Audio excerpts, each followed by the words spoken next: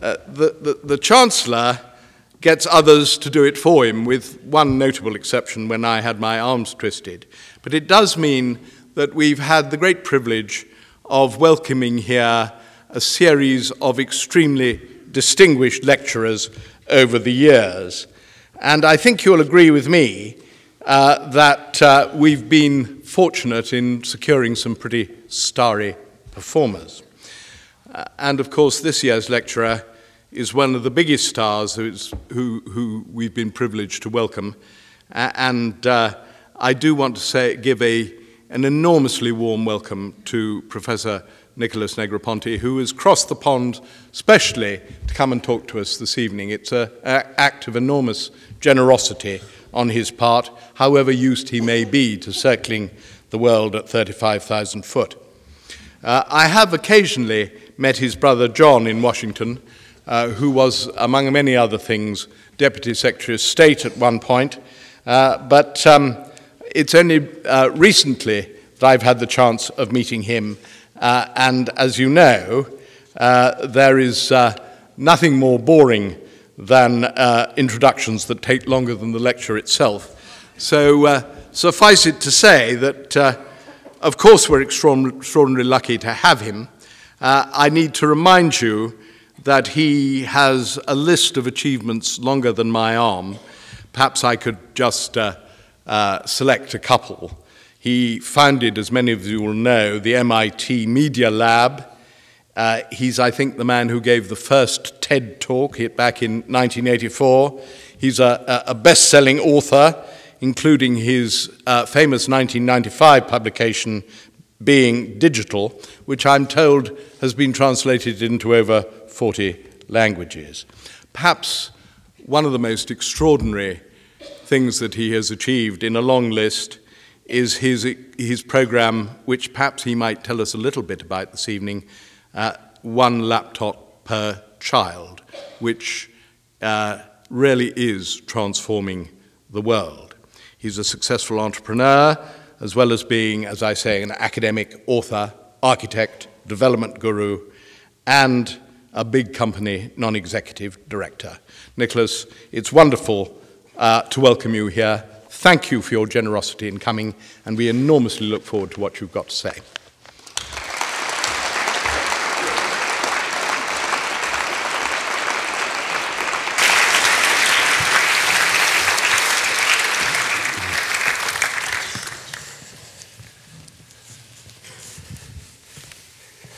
Thank you. I did give the first TED talk, but what people don't remember about it is it was two and a half hours long, um, without notes, with a lot of visual support. And then I gave another TED talk the next year, and it was an hour, and the next one was a half hour, and the following year it was 20 minutes, and that's where the sort of the rule sort of then became that people could only give 18 to 20 minute talks. Um, I will take a little more time tonight um, because the topic is a very new one. In the next six months, you'll hear a lot about it, um, but there's been very little at the moment because connecting people, or internet connectivity, is a business at the moment. And it's a very lucrative business, and people around the world are making a great deal of money in telecommunications. And if you look at the 10 richest people in Africa, nine made it in telecommunications. If you look at the 100 richest people in the world, half of them did. So, this is a very profitable business that when you come along and you say it should be a human right, the one thing we know about human rights are they're free. And human rights aren't something that somebody buys and then gets more of. And I don't want you to get hung up on the difference between a human right and a civic responsibility because there are big differences, but that's not so much my point. In fact, if I were to sort of give you the end uh, statement of this evening, it's that I think the internet should be free, worldwide, and made part of something that doesn't really exist, and that is a global public sector. You know what a local public sector is because we heard tonight that many representatives or mayors or heads of it are here. But a global public sector is a very funny concept. The closest we really come is the United Nations, and there's some examples of, you know, other examples. But in general, the idea of public sector and global uh, don't automatically go together. So when I wake up in the morning, I ask myself basically the same question every morning, and that is Will normal market forces do what I'm doing today? And if the answer is yes, then you shouldn't do it because normal market forces will do it. So I've spent my life and sort of the work that I either did directly or people who work with me at MIT or elsewhere in trying to do things that are not the things normal market forces do for a variety of reasons. They may be counterintuitive, they may be going against vested interests, they may involve inventions that people hadn't thought of, but they then become perhaps part of the market, which is, is fine, and that may be how they uh, evolve. And the difference, the difference is quite profound, is the difference between a mission and a market. And I'll talk a little bit about one laptop per child, but the people who were violently, not even, you know, subtle about it, violently against it were the people who led Microsoft and the people, the leadership of Intel, they didn't want it to happen because it was not in their commercial interest. So when they, quote, competed with me, they did it as a market. They wanted that market. They didn't want to see the so called bottom billion not using Windows or not using an Intel processor. And yet they didn't really get the difference between a mission and a market. And when you're on a mission, you have different interests, and, and they aren't the self interests that you have personally or corporately. They're very, very different. So let me just take three minutes to tell you just a little bit of background, which I normally might not do of myself, not because I want to talk about myself, but it might, may tell you about sort of, or at least explain the point of view. Um, when I grew up, I did very well in art. I won all the art prizes, sort of kindergarten through 12th grade, and, and I would get this art prize and that art prize. Um, visual arts, not music. But then I did sort of had a mistake in my life, and that was as I got the highest score in the math uh, that you could get for applying to college. So I went to my headmaster at the time and I said to him, Look, I, I do well in math, supposedly, and I do well in art, so clearly I should study architecture. And he said to me, was actually quite a clever man and completely went over my head. He said, Nicky, I like pinstriped suits and I like gray suits, but I don't like gray pinstriped suits. Huh? I didn't understand what he was talking about.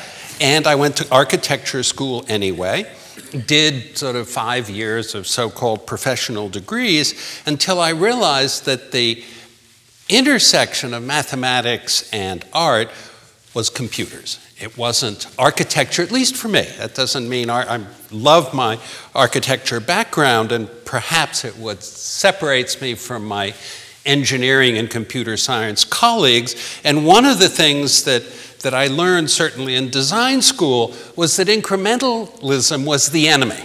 That you didn't want to just incrementally, that you really looked, and the best vision, if you will, was peripheral vision, wasn't dead on foveal vision. And the other thing that sort of one learns in design school is that perspective is worth 50 points of IQ. There are very many smarter people than me in the room all the time, especially at a place like MIT. But I think on occasion I just looked at it. My point of view was different. And one sort of unfortunate fact is that we reward IQ much more than perspective, and sometimes it's hard to understand where perspective comes from. And then there are a couple of other points that perhaps, you know, put me somewhat orthogonal to the scientific and technology community, and that is that I think the best measurement of anything, the best measurement of success, accomplishment, achievement, etc., is self evidence. And I cannot tell you how that is just not accepted. There are people in the foundation world who tell me we are an evidence based foundation and we measure everything. And I say, well, then you must be doing small things. And they, they get very offended. I said, if you're doing something big, you don't have to measure it, it'll be self evident. And yet you're going to spend half your money measuring these little tiny changes you make, and it becomes a self fulfilling prophecy. They say, well, our sponsors and our, the government and our philanthropists want us to measure everything. Rubbish. They really, they'll tell you that, but they want big changes and they want changes that will be very self evident. And then the last sort of rule of thumb, and I kept telling my son this as he grew up um, everybody can be wrong absolutely everybody in the room can be wrong, and that just because everybody says something doesn't make it necessarily true. So, one of the things that happens in university life, certainly mine, um, is that there are few people who really influence you very, very much. And I had three of these people. I want to quickly tell you about them because their point of view affected sort of mind. The man on the screen right now, his name is Marvin Minsky. He invented the field of artificial intelligence. It was his word. He coined the phrase. It was 1958. Marvin was a dear friend and colleague and one of the founding faculty of the Media Lab. And Marvin is the kind, was the kind of person who would always sort of think in sort of a meta way. He would, he would, uh, he would come up with these extraordinary sort of theories. I'll tell you one that actually, I'm being a little indiscreet here, but Marv, we, we had built a building for ourselves, the first building on MIT's campus. It was called the Media Lab. But I was always out of the country raising money, doing projects. And I came back once and I was getting in the elevator in the morning and it was a packed elevator and Marvin was in the other corner and he sees me he says hey Nick good to see you. I discovered last night why humans have sex. The elevator goes silent because they want to know what the answer is.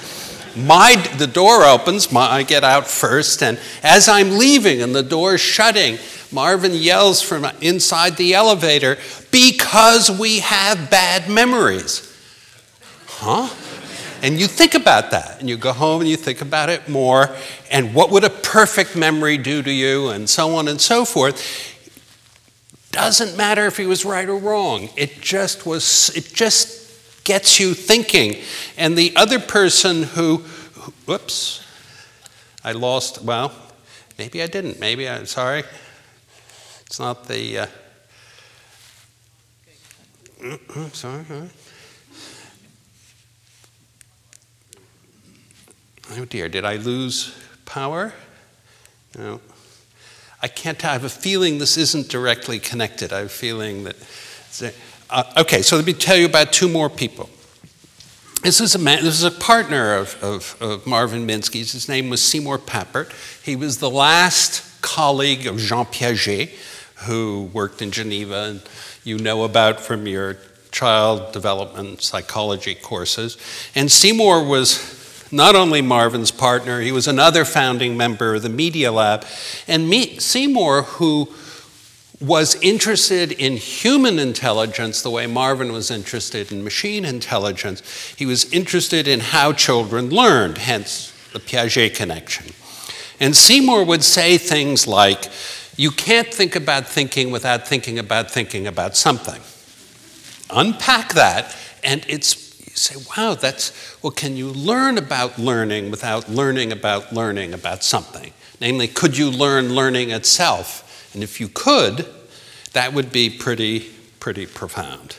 And the last person I'll mention just as an influence, was very important because he was my partner. I'm always listed as the co founder of the Media Lab, which is correct, but very few people know who the other person was. Okay, you were co founder, who was the other person? This was the other person. Jerry Wiesner was about 25 years older than I am, was a very close friend and colleague, but there was a little trick here. He was the president of MIT. Before that, he was Jack Kennedy's science advisor. But I promise you, if you ever want to start a lab in a university, make sure the president is your partner. And what this did is it gave us license to kill. We, we had basically a pioneer's license, and nobody could stop us.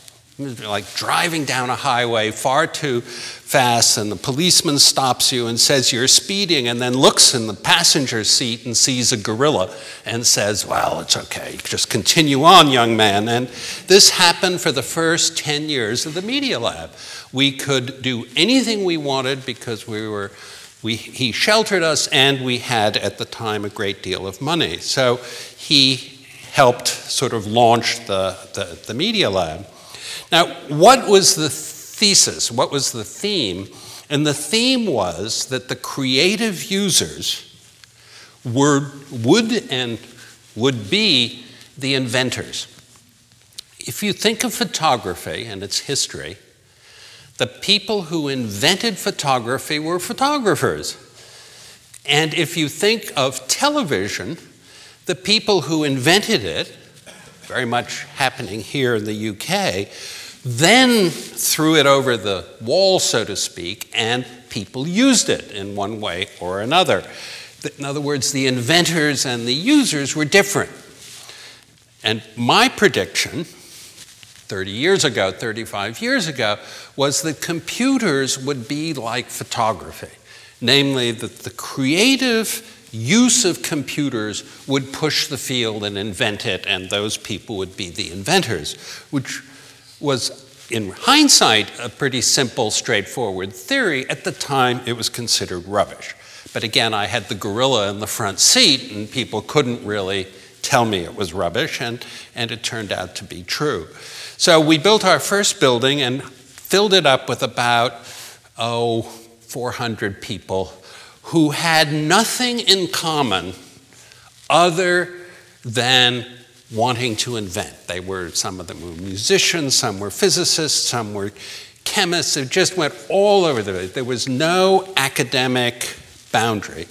And the importance of that is extraordinary because we were also quote an academic department. We could admit students, we could award degrees, we could hire faculty, we could give tenure, we could do all the things that academic departments of a more typical kind could do, but we were this atypical kind, which where we were both a laboratory and an academic department which had never happened at MIT and has never happened again. It's just a, one instant that happened in the course of history.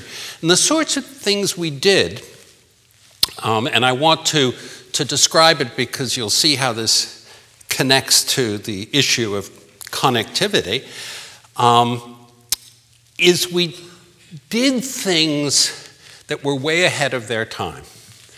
And again, they didn't have to be justified uh, in any way, including the number of successes that you had, whatever that meant, uh, per student or per faculty member or per, you know, 100,000 or million dollars of research.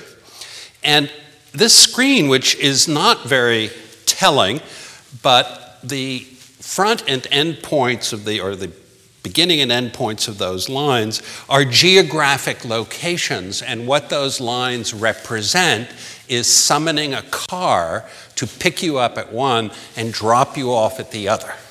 And it was a program, it was actually, its name was CARS, which stood for Computer Aided Routing System. I actually worked on the program. The part that is astonishing is that that image is from 1964. 1964. What, what happened in, you know, why were the next 60 years, why, or 50 years, how come it took so long for Uber to happen? And the answer is very simple. Uber didn't happen because a group of people decided to route cars. Uber happened because five other things had happened historically. We had satellites that could locate where you were, which we didn't have till 1976. You had small handheld devices, which is relatively recent. You had mapping systems. You had text, so you could communicate. So what I'm trying to say is that the, these, it's like the alignments of moons, that, they, that you could predict certain things, but it was the coincidence of them that made it happen. And I will argue that that coincidence is happening right now, again, for the topic of connectivity. Certain things have changed, are happening, and we are having, at least in the next couple of years, what by example happened there. I want to just show you two more, just by way of background. Um, this was a, a, project, this, this project on the screen was uh, 40 years ago where we more or less invented the technology for a variety of them for touch, that you could touch the screen. And in fact, you could not only touch it, you could even push on it and introduce horizontal forces, which hasn't been copied that much. Everybody thought this was stupid. They wrote articles about it articles that so called scientific articles, peer reviewed articles, that said nobody ever wants to touch a screen for three reasons. I even came up with three reasons. One reason was that if you touch a screen, your hand will occlude what you're trying to touch, so it's much better to move a mouse down here and see it. The other reason was that the finger was low resolution and dull. And the third reason which was the most laughable buzz, is that if you touch a screen, you'll get it dirty. So, most of you interact today by touch.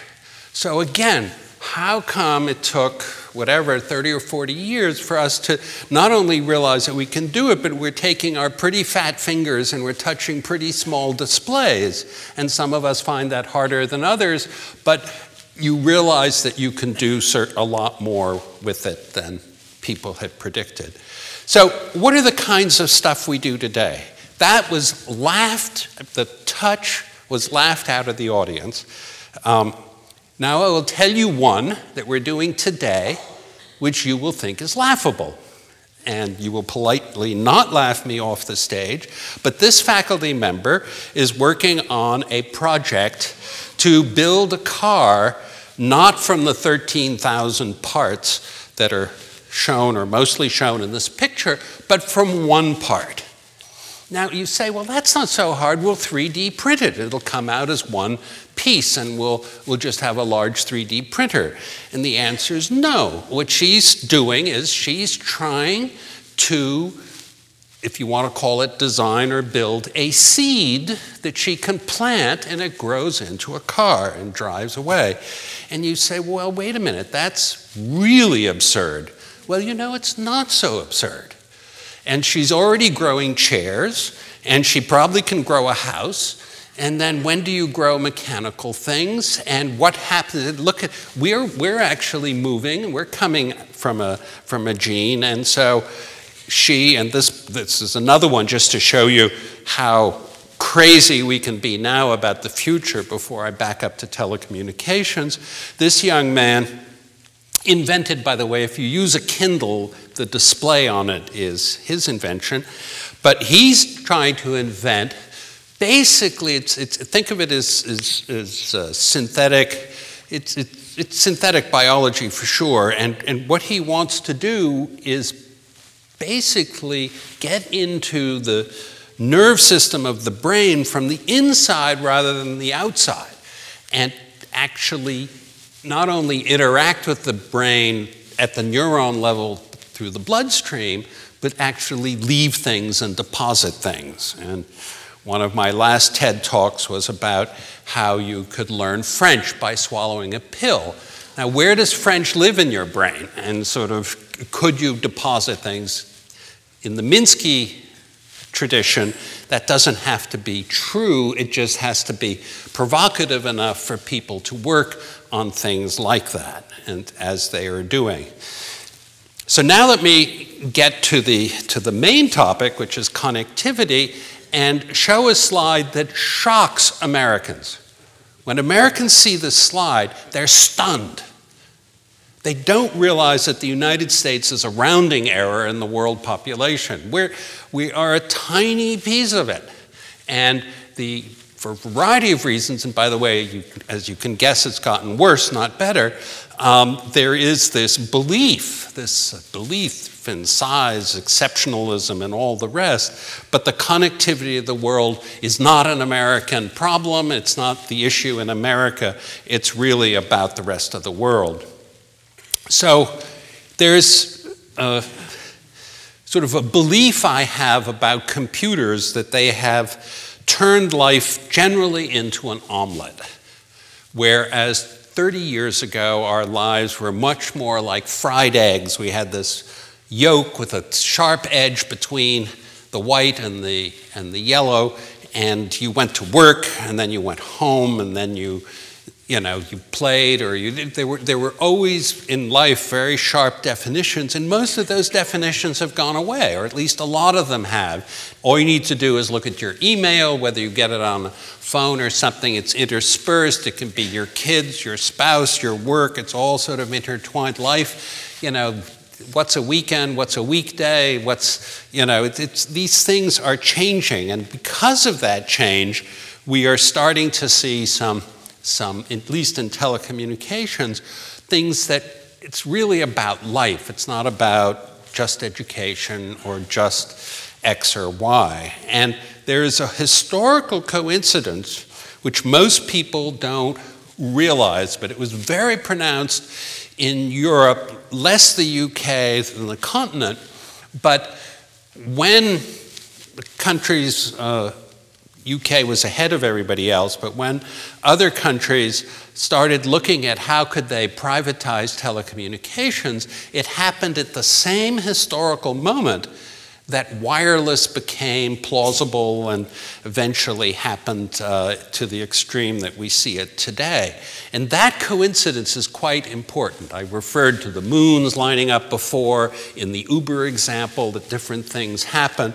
This was a, a, another one, well timed in the sense that you suddenly could give other people licenses to run telecommunication systems because they didn't have to dig up the streets, they didn't have to lay the wires, whereas the state or the public sector had to do that historically because it took so much time, it was not necessarily cost effective. If you believed in universal access, there are other issues, and the, the, that coincidence was quite important. But something happened and here the UK and Germany were a little bit to blame. And that is that governments took the spectrum that we use to, uh, uh, you know, to connect wirelessly and decided they would auction them. And these auctions surprised people, surprised in the UK, surprised in Germany, uh, where they expected to make, you know, hundreds of millions and made billions uh, in the auctions, and the government said, wow, this is a windfall. Now, I don't care too much what happens in the UK or Germany, but I do care what happens in Africa and other parts of the world. And those countries also saw this and said, wow, this is a way to get money into the treasury. We're going to sell the spectrum. Now, I cannot tell you how absurd I think that is. It's like selling Hyde Park. We're going to sell Hyde Park to 50 real estate companies, the highest bidders, and we're going to tell them you got to manage it this way or that way. No, there's sometimes you shouldn't do that, and selling spectrum uh, was a bad idea. Now people come and say, well, wait a minute. The private sector is much more efficient than the public sector. Let's, let's definitely, and if you look at the history of telecommunications in the early 1980s in Italy, it cost you $4,000 deposit to get a phone installed in your house, and it took two years to have it arrive. And so that's not a very efficient system. Uh, and so QED, the public sector, is inefficient. Well, one question is is it really that inefficient? For some things it is, for some things it may not be. And to just assume as we are, and I'm now speaking for the United States, who's going through this tragic moment in history uh, where the public sector is really being dismissed. And so it's, it's, it's extremely shocking. But maybe it's not. And I pick one country as an example, which I think is the best telecommunications infrastructure in the world. 85% of the kids have fiber to their home. Every child has a free laptop. Every child has free internet. It's, it's just an extraordinary, it's owned by the state. The government decided that this is part of their civic responsibility. So you say, well, Uruguay's small. It doesn't matter. It's still an example. So Uruguay is my poster child for not just one laptop per child, which I'll talk about briefly, but also for, for connectivity. And it's very simple assumption that children are the most precious natural resource of any country.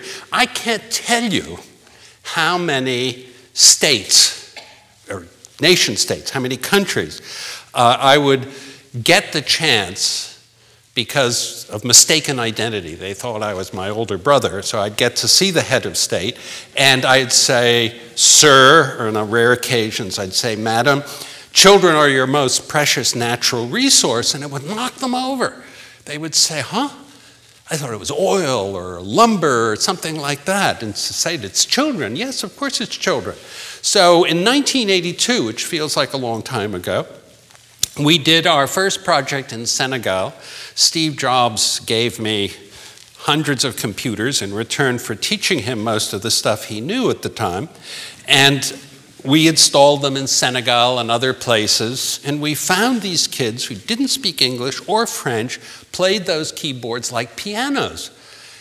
I, this, wow, it, it really is something that kids can do before they learn how to read and write. You do not need to know how to read and write to use a computer and to use a keyboard, and in fact, even to write a computer program.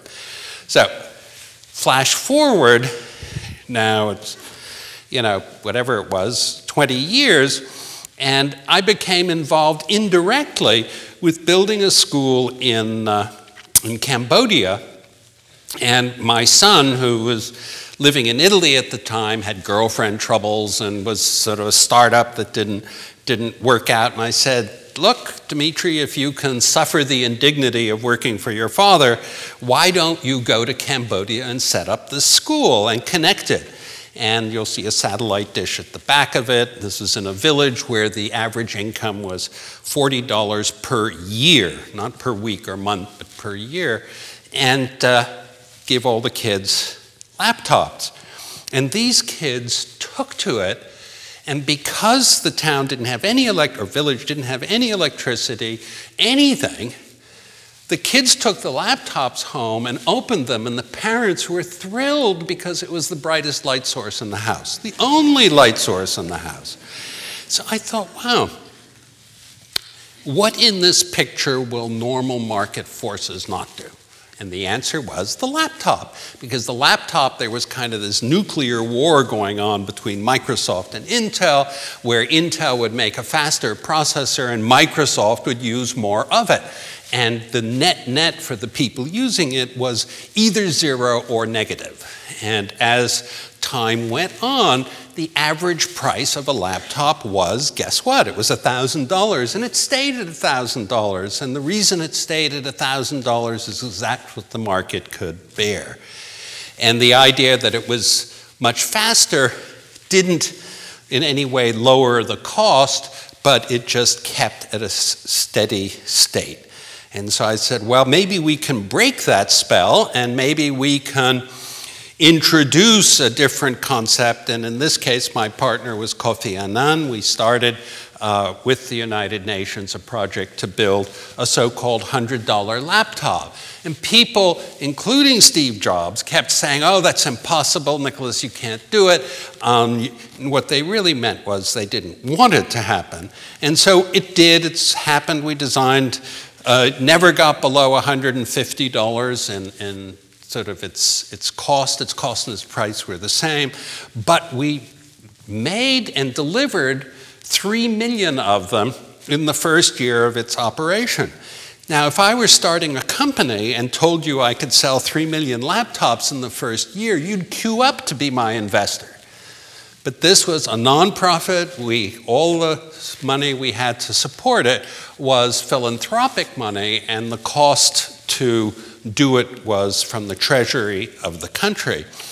And after doing 3 million, I realized we had a trump card that nobody would ever play in the business world, and that was I could go, and my uh, first case was in Brazil when Lula was president, and I said to him, Look, I'll help you write the tender for the, he was going to do a million laptops, and we'll bid on it and we'll publish in the newspapers what our price will be, which people don't do. They, they do these tenders and they keep them secret because they want to win. But we publish, and in the case of Brazil, because of the conditions and the servicing and the connectivity that was needed, it cost $182, if I remember correctly. And the company that won it won it for, guess what, $181. And I thought, wow, we don't want to build and ship laptops. That's the last thing we want to do. We just want to force that price way, way down. And we continued for the next two or three years bidding in every country around the world that would offer a tender, and we'd publish our price and somebody else would come in below it. Wonderful scheme, generated about 50 million laptops. A couple of cases we won accidentally. Um, in Nicaragua, we won. We did it. We did. We were very happy to win because we were always publishing an honest number, so it wasn't fake, and people knew it. So that's that was the important piece of history. And as a project, it's it's perhaps the most photogenic thing I've ever done in my life. And this that the it was Australia, it was the previous picture. This is Afghanistan, this is Peru. Look at the expression on that young, I'll go back one. Look at the expression on the young girl's face. I mean, talk about a different way of thinking about learning. It was, it was quite something. So, I, I ran an experiment after doing one laptop per child, which was very different because we had done the laptop through governments and through schools. Excuse me for a second. So the experiment was much smaller. It wasn't 3 million or a number. It was in two Ethiopian villages, each of which had roughly 25 kids in what would have been school from, let's say, you know, grades one to eight. But these villages had no school, had no literacy in the village. Nobody knew how to read or write. No words were anywhere in the villages. There were no magazines, newspapers, there weren't even road signs. Um, and so the closest you could get to finding a word, because people would call me on this and say, you know, are you sure? And it turned out that clothing, some clothing had labels on it, which did have a little bit of text. But basically, the village had no comprehension or even remotely sort of understand about literacy in general. So, what we did is we took, in this case, tablets, and we took as many tablets as there were kids and left them at the edge of the village in closed boxes. Now, the night before, an adult went in and showed somebody in the village how to put a solar panel outside versus inside and connect a battery so that it could create power but the rest was without instructions, without people, without anything. Now, these tablets had software in them that sort of monitored their own use. And so we could tell after the fact how long it took, which was about, you know, an hour or two hours, for the first kid to find the first, or open the box and find the on off switch. Non trivial. The on off switch, not only because these had it on the back, but just in general, the concept of an on off switch is not self evident. It took them five days to be using an average of 50, 50 apps per child per day using the tablets for seven hours. And that was how long they would run before they had to be recharged. And you couldn't charge them while using them in this case. Within two weeks, they were singing ABC songs, and within six months, they hacked Android. Okay. And I'm not inventing this, it's absolutely true. And the, the kids, uh, again, these are very photogenic, but the next picture is the best picture I've had in my entire professional career. It's not a great photograph as photographs, but remember, there's no school, there's no teacher, there's nobody who even knows what school is, let alone can read or write. And the kid on the right has nominated himself teacher.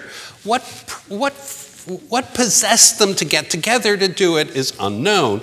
Each of the kids in the photograph is using the tablet for a different purpose. And if you look at the kid on the left, he's using the other kids, and the other kids using the other kids.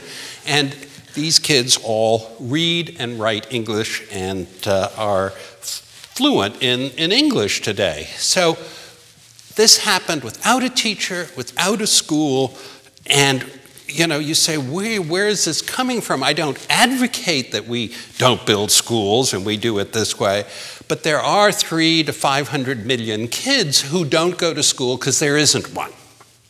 So it's, it's, there, there isn't one within a short enough distance. I mean, if there's one 30 miles away, that doesn't count. So this was, to me, a, a, a very important experiment. I made a mistake.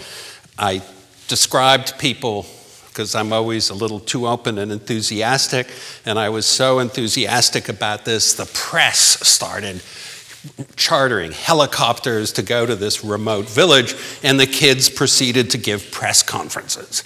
So it was a little polluted as an, as an experiment, but here's a kid showing some reporter uh, that she can write words in the dirt. So again, talk about So I look at this and I say, what will market forces not do this time? And it's the issue not about the next 1.5 billion people. You hear all sorts, Mark Zuckerberg, Bill Gates, uh, all of the successful computer tycoons that have emerged recently, and they talk about connecting the next 1.5 billion people. That's trivial. The next 1.5 people, I can do a little price changing, I can do this and that, and they're there. The last 1.5 billion, billion people are really interesting because they're illiterate, they're rural, they, you know, they, they're not connected.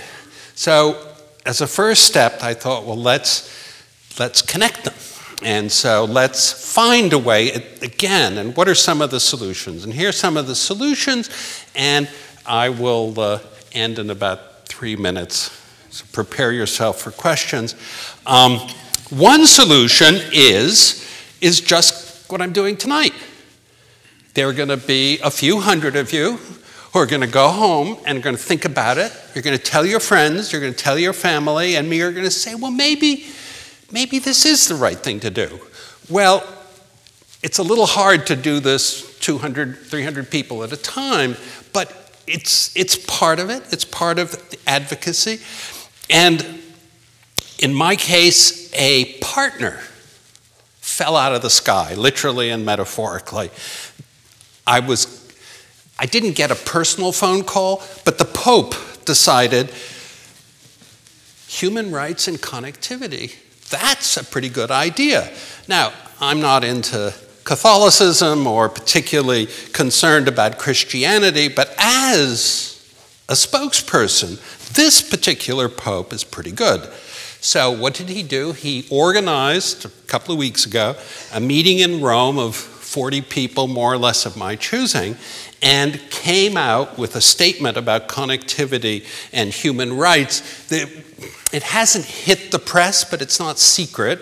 The Secretary General of the UN just saw it the other day, and basically, it's about the things I've been saying, plus if you read the last paragraph, he has advocated creating a world connectivity organization, which is a little bit like the World Food Program, the purpose of which is to connect people free and make that. Sadly, I don't have a better place to put it than the United Nations, but you know, we've got to make the United Nations work.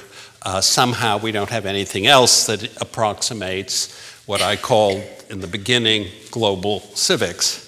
So whether it keeps that name, um, how it emerges, it'll happen in the next six months, and you can tell your friends you heard it here first, because um, I don't, it hasn't been widely published. And then the other thing you've got to do, and I learned this from one laptop per child, you've got to come up with a plausible solution because the telecommunications industry believes, and it probably will, but it believes that it's going to spend $450 billion over the next five years, which is an awful lot of money to be spending. Don't ask me why they didn't round it up to 500, but at any rate, 450. And that's a lot of money. But it can be done for 10 billion. It can be done for a lot less money. And you're going to have to trust me for a second that can be done for 10 billion. And what is 10 billion?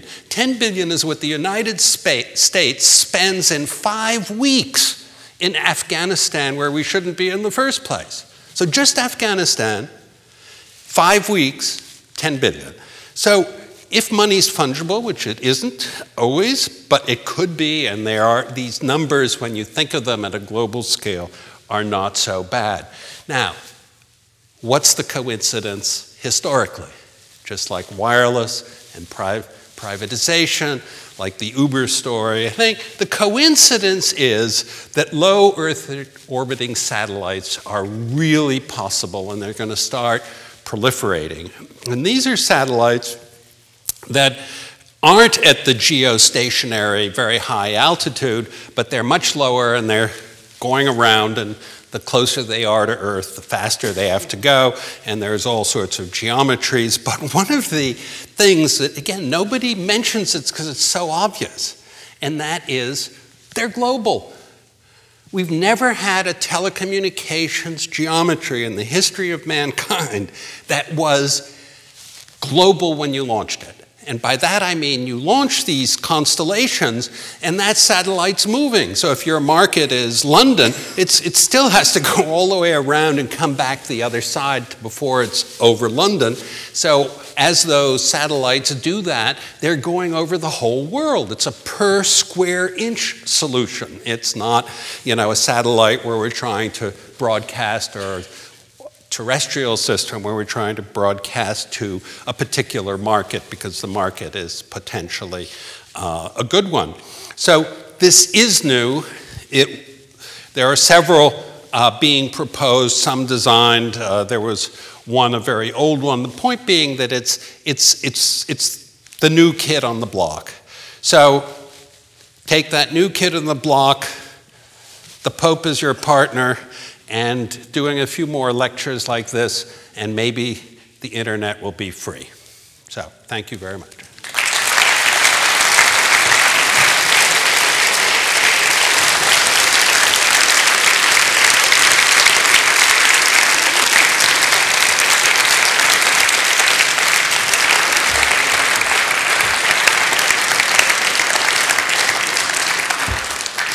Well, if there isn't a host of questions after that, I don't know this audience. Thank you, Nicholas, very much.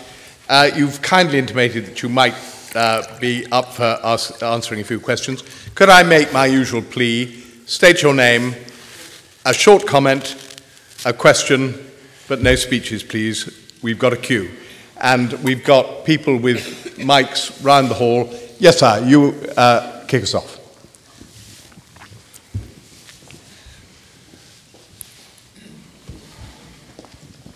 Uh, thank you very much for a very stimulating lecture. I'm Tony McAllister.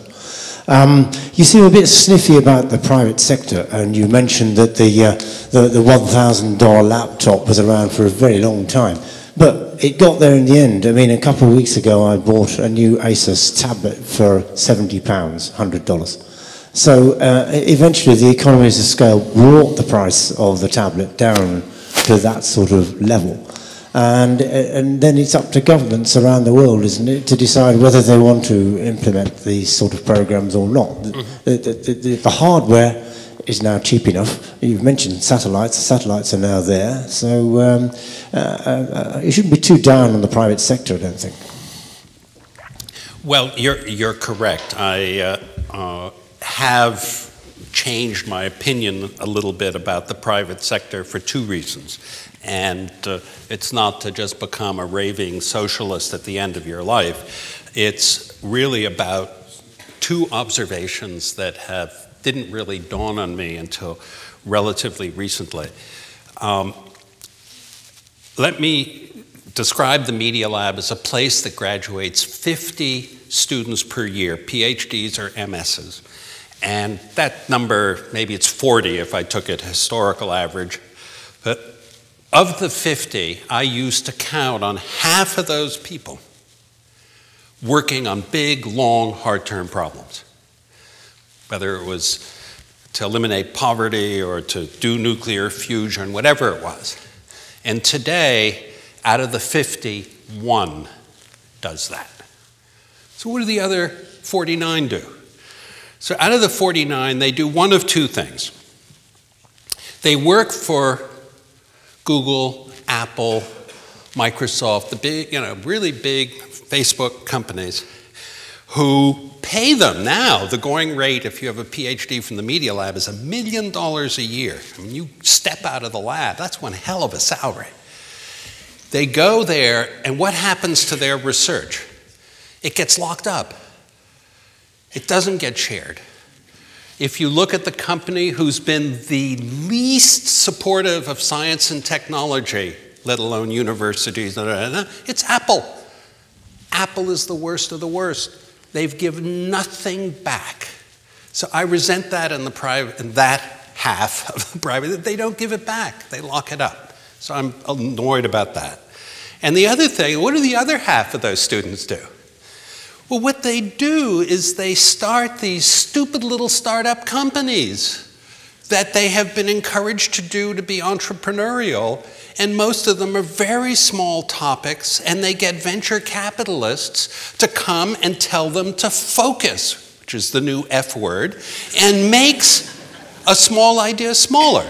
Now, I'm exaggerating a little bit, but I see the big companies receding and I see a lot of talent sucked out for these sort of irrelevant things in the name of a form of capitalism which suddenly isn't working.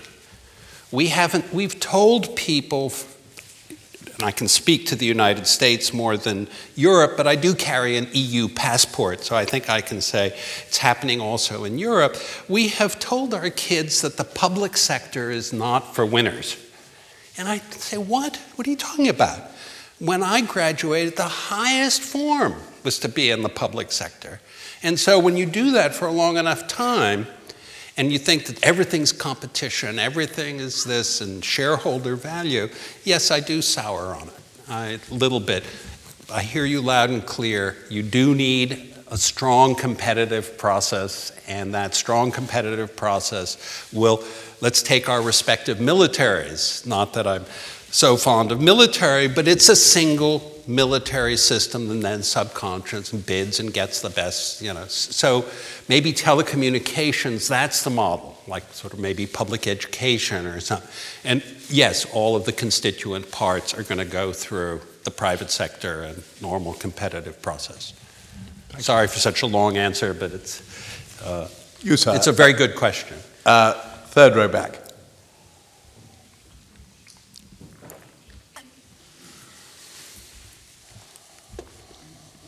Uh, good evening. Um, my name is Daniel Patterson. Um, I have a question about the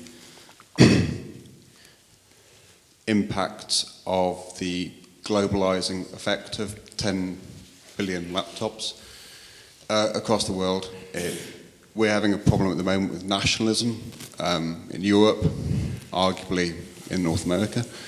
Um, and it seems to me that by doing this, you're going to create a whole new generation of globalized citizens that don't respond to national edicts, possibly, because this is going to upset some national governments, your idea. And in the long term, you could see a clash between the current global north and current global south in terms of competition for jobs and competencies. I'm just interested in your thoughts on that. Well, let me tease that into at least two pieces because, um, as you can guess, uh, I think of nationalism as a disease and as a disease that is unfortunately spreading. I don't consider myself a citizen of any country, um, and it's, you know, I, I just, you know, dreadfully sad about what's happening around the world, in the United States, in the UK, or all over the place. And you say, well, maybe this is just a little blip in history, and maybe we, we aren't we don't need to be that nationalistic. And the north south divide, there's a lot of south south stuff going on that is quite extraordinary. Um, in the case of, of Uruguay, spending a lot of the Uruguayans go to Ethiopia and Rwanda to, to basically share what they've learned and to set up systems. And we're now finding Rwandans doing things in other parts of Africa. And you know, if nationalism is a disease, maybe globalism can become one again. I think that the confusion between jobs and nationalism is, is a terrible one. Um, jobs are not disappearing because we're sending them to Mexico. They're disappearing because of technology. And that's a deeper, but it's not a nationalistic issue. And what you do about it, I don't think is legislation. I think there are other solutions, but that's a much longer, longer topic. But yes, the connectivity as a human right or as a global response is at total odds with nationalism. And one thing I didn't mention uh, is that the jurisdiction of countries ends at 100 kilometers. After that, there's another body of law. And if you are using, you know, uh, satellites that are up at that altitude, you are not subject to the laws, of telecommunication laws, even though they can outlaw it. You see, if you know something about satellites, you have to what, get what's called a landing license. But if I launch a few thousand satellites that are low Earth orbiting, I don't need a license. I just need to tell everybody in the world that if you stick your hand out, basically, with that thing, you're going to have 10 megabits both ways. The country can say you can't do it, but then they'll let it happen in rural parts. And in other words, it'll, it'll, it'll happen over time. So you have to be, and while this wasn't directly your question, you have to be outside the jurisdiction of sovereign uh, interests. And that doesn't make me popular, but it's what you have to do. Yes, ma'am. Um, there are two uh, ladies with their hands up. Could I take the first one in the front? One in front first.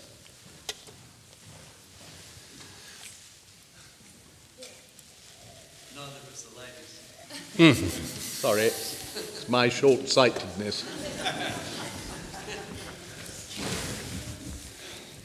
Thank you. Thank you very much. Um, uh, my name's Jerry. Um, I, I am very touched by this and, um, and the opportunity that you create for Africa through this um, concept, through this movement, in that you will be able to bypass um, government regimes and and go straight to the African child and connect them to the global connectivity.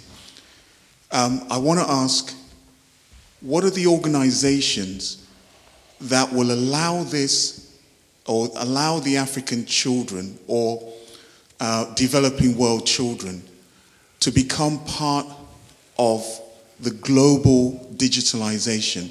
What are the organizations that are allowing this, and what are the organizations that are against this, restricting, just so we know? Oh, the entire telecommunications industry is against this. In fact, uh, every cell phone operator and every, you know, this is, this is heart attack material for them. Uh, and in the images I showed you of the chil children with the tablets, I'm counting on children being the agents of change. Now, to what degree, and I don't have an answer, to what degree can we make it such that if you get a recipe, you can build the device to connect it's with, with almost with chicken mesh and coat hangers? Uh, that certainly worked for receiving television. The question is getting a signal back. That's one question. And then the other is um, to what degree are there other natural things happening uh, in a country? There's many countries that I'm interested in don't even have postal systems. So how do you how do you connect? And it turns out that cell phones have done a pretty good job, and they've done a pretty good job uh, connecting people, and they're very proud of the average revenue per user, which is a very high proportion of the person's income, and they say that with pride versus embarrassment. It should be thing. But that is that does prove that you can get things out, and maybe you can do it more virally than having an organization like UNICEF or somebody, though the United Nations is, is a pretty good partner and there are various different organizations within it and they don't have to go through customs and there's stuff you can do uh, through some of these large uh, NGOs like the United Nations. And so there are many, many partners. We're not going to go out and make little bilateral agreements with partners. That's, you know, this, it, it has to happen more virally. Second row back in the gallery there. Hi, Nick. I'm a big fan of your work. Um, and I do agree that Apple is ruining, has a bad attitude towards the research community, at least in the technology sector. The marketing is doing well. Um, this is regarding a comment you made a few months back. Uh, you predicted in your book, um, Being Digital, in 1995, that uh, digital sector will take over the world. And a few months back, you uh, said biotechnology is new digital. And we can totally agree to that. But what if I say uh, the predictable AI collision uh, with the biotech that's happening right now is a bad thing in the long run? Do you agree to that? Sorry, which one, AI or bio? The collision between AI and biotechnology. I, I, don't think of things in terms of good and bad. I think of them, certain things actually are inevitable, so both of those are inevitable. Uh, I think what's happening, and I certainly didn't know it, being digital was written 25 years ago.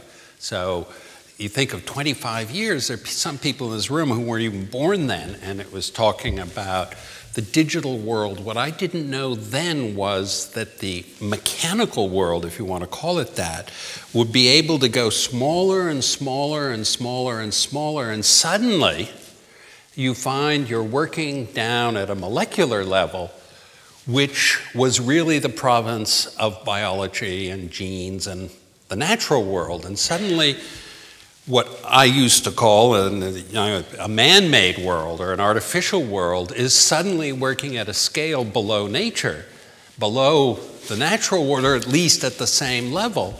The startling thing, which is interesting that your question asks both about AI and, and or at least mentioned both AI and biology, is that the natural world and the artificial world will be indistinguishable absolutely indistinguishable.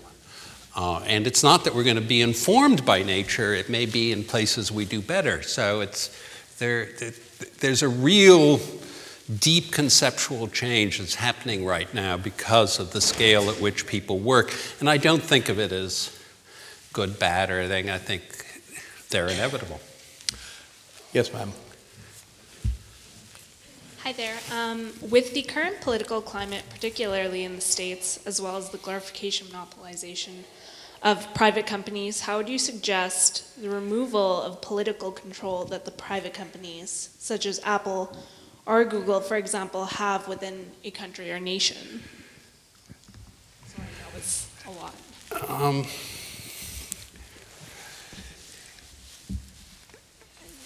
you know, the, the companies, whether it's Apple, Google, Facebook, I mean, I know them all and know them very well and know their founders and have watched them grow from like little babies. It's like knowing somebody, you know, as an infant and seeing them as an adult.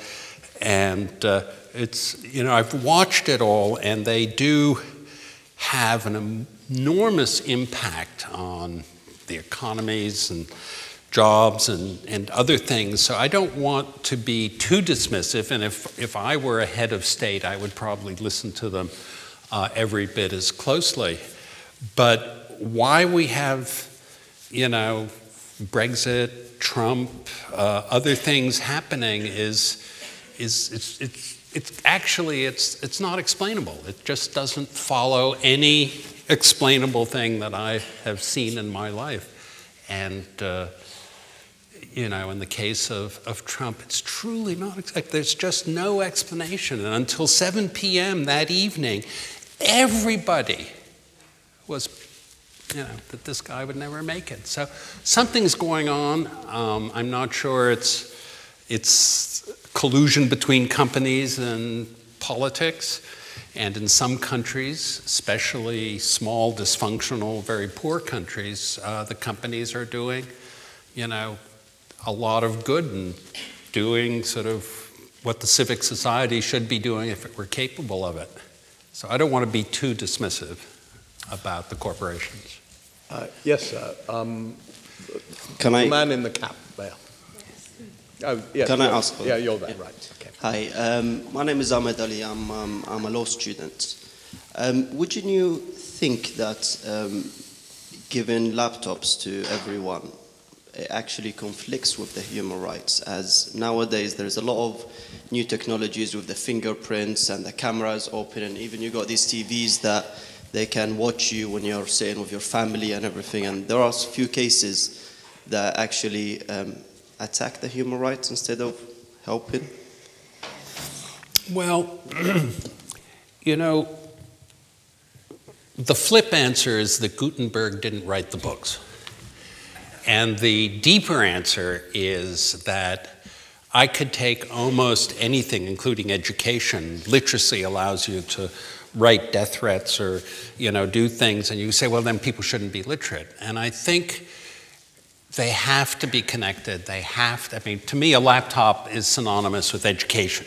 It's like primary education. So when people criticize the laptops and would say things like kids need drinking water and medicine before they need a laptop, and I say, well, just substitute the word education, and then can you say the same sentence? The kids need education after they get drinking water. And it, no, they're actually intertwined, and you want to have the education because that actually may help drinking water and, and primary medicine. So I see laptops the same way. Now, does the connectivity uh, come with other issues and, uh, you know, privacy and all of that? And the answer is yes, it does. And awareness of that is the most important thing, not to try and eliminate the laptops or the connectivity. And, you know, I wouldn't for a moment try to make people unconnected because I think the risk of connectivity is high. And you can imagine the, the ethics of connectivity, and, you know, the Vatican is really concerned about the ethics of it, perhaps more than I am. And uh, it's, uh, it's a topic that's important and will be, you know, treated, but the solution is not to not do it. It's to do it right. Uh, are you going to do, shall we say, three more questions? Would that be It's okay? totally up to you. It's uh, Okay, well, we could go on. Three questions, three I questions. imagine we could go on all night, and uh, Okay. we'll have to ask you, persuade you to come back again, I think. Yes, uh, you sir at the back, then you sir, and maybe someone from the other side. We have a young lady over Those here who's had her hand up for a long time. All right, well, Second we- row balcony. Shall we make it four questions in that case? Good evening, sir. Uh, thank you for an amazing. Uh, where are? Sorry. Oh, where- oh, there you are. Yeah. Okay. Good evening, sir. Thank you for an amazing lecture. I'm a student studying MSc AI with robotics. Mhm. And my question is uh, I do believe that uh, the AI field is booming at the moment, and uh, we will be using AI as a tool for connectivity in the near future. And in your opinion, what might be its consequence in view of the mission versus marketing, marketing concept? Well, the, first of all, Marvin Minsky died little less than two years ago, and the term, the word AI was not used in public when he died. It, it's that recent that AI has fallen into the language and uh, is used as currently, and people sort of know what it is or what it isn't. Um, the, the consequence of AI and robotics to a large measure is completely in terms of what we call jobs today. And will working in 20 years from now be at all like working today? And when people criticize the various trends that are happening, they assume that work will stay constant, that that's what we do. We work. Well, first of all, everybody's going to live to 150 and maybe 200 years old. And when you live to 150, 200 years, um, suddenly to go to school from the age 5 to 18 doesn't make much sense. You really, you know, it'll probably be very different. Um, I see no discussion about that. I never see in any article that people talk about the loss of jobs to really rethink of it, think in terms of lifespans, how, what is the mixture? And we're going to have to do a lot of rethinking about the concept of work, and that's going to be prompted by the AI robotics uh, change that's happening pretty quickly. Yes, ma'am, you're quite right. You've been very patient. Hello, um, my name's Poppy. I study law and Japanese. Um, I Sorry, just- you study law in Japanese? And, and. And Japanese. um, do you worry that if the internet was free, that um, a lot of children growing up spend a lot of their time indoors and might increase the risk of sort of social anxiety and obesity in children as they're growing up? Well, that's a very interesting question. Um, there is a belief that if you're connected a lot, you are going to be socially withdrawn. And yet, there's a lot of evidence to the opposite that kids, yeah, they're, they're, they're the outliers, but in general, kids who are connected are, in fact, much more gregarious and they have a lot of things to talk about, even if sometimes us adults think those things are not very uh, interesting or mature, they still are as you know it's, it's, it's not there's there's no antidote you need to get a kid outside or to get a kid to socialize. Um, but it it is true that sitting is the new smoking. Okay. And that sitting for a long time for everybody for all our adults is not a great idea and uh, you know, obesity, I don't think comes so much from kids sitting. It comes from really bad food and a new affluence that occurs, and in some cases, a cultural belief that a fat child is a healthy child. So there are a lot of other things at play, and I, I, I have a grandson who is glued to this stuff, glued to the iPad and the iPhone and so on. But he is the most gregarious social kid I've ever met. And will go up to other kids and they talk. Sometimes they talk about their respective iPhones. So I'm again, that's a sample of one. That's not a that's not perhaps statistically important, but I think it's part of a general a general trend which is occurring more and more. I did see the other day.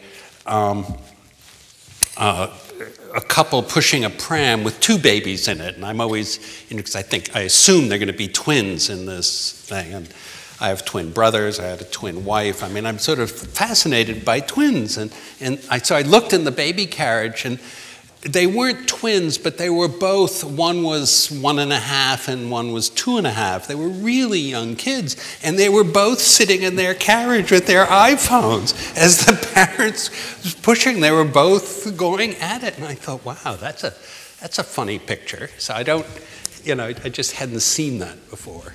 But Right, I'm- we got I'm two more. Yes, ma'am, there. And then perhaps the last one.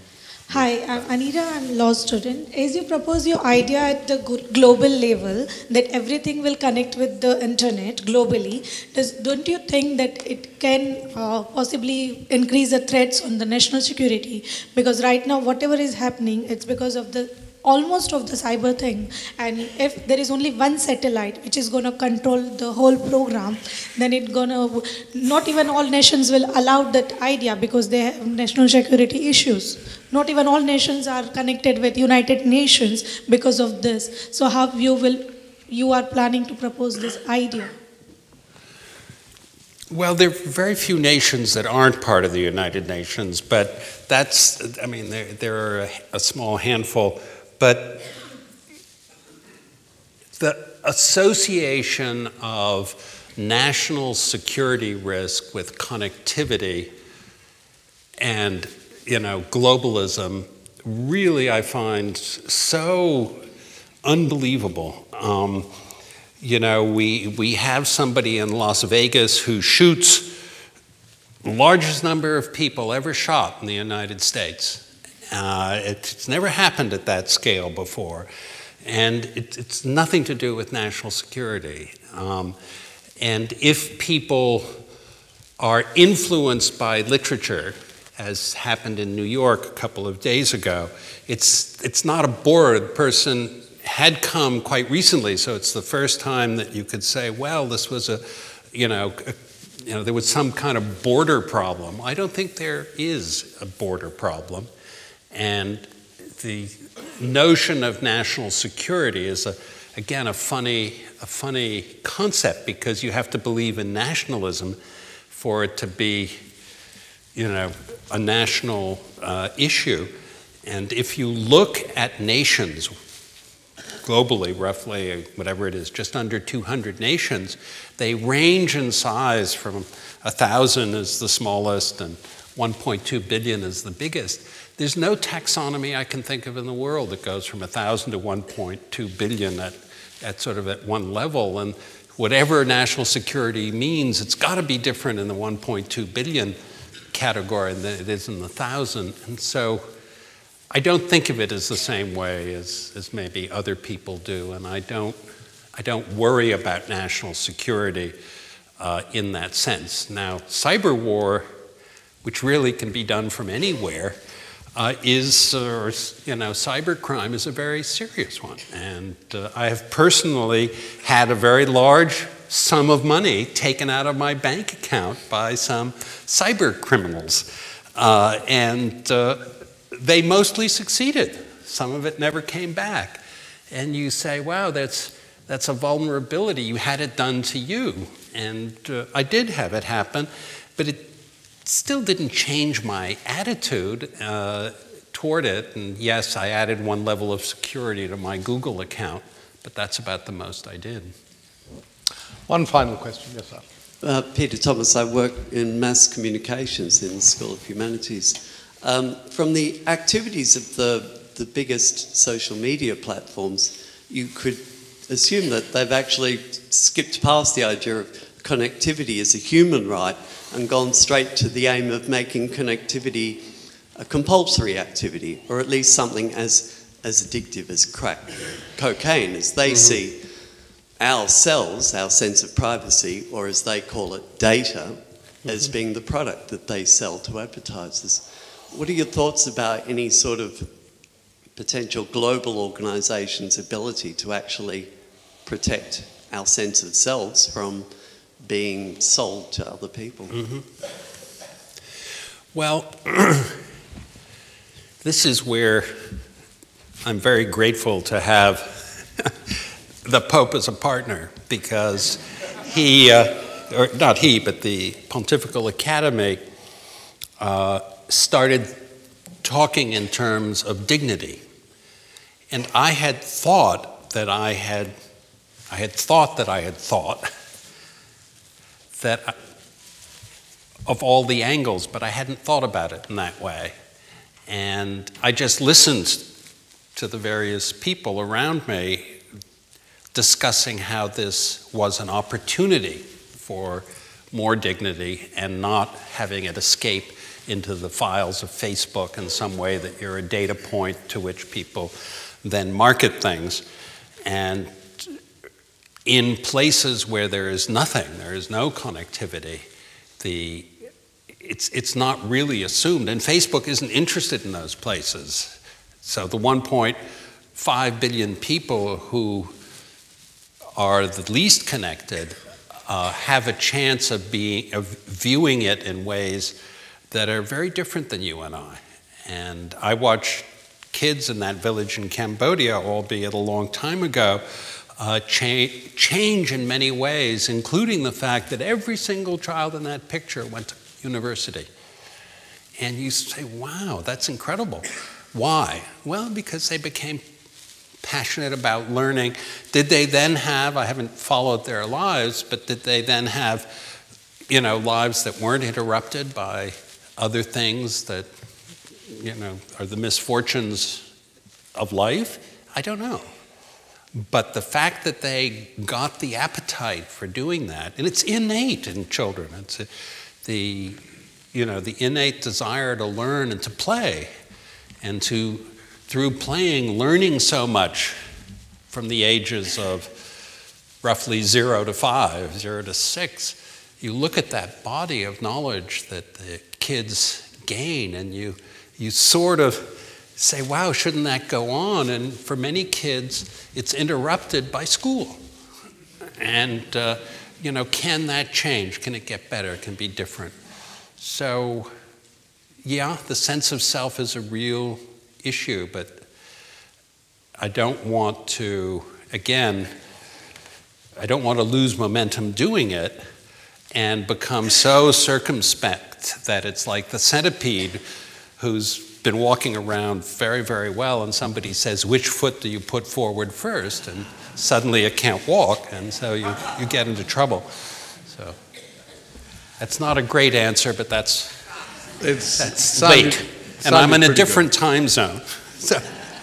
Uh, Nicholas, uh, I knew this was going to be a stimulating evening, and you've exceeded my highest expectations, and I'm sure the high expectations that already existed in your audience.